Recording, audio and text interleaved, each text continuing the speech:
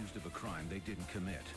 A ragtag band of fugitives fights a covert battle to clear their names and expose the insidious enemy that is Cobra. Some call them outlaws. Some call them heroes. But these determined men and women think of themselves only as ordinary Joes. And this is their story.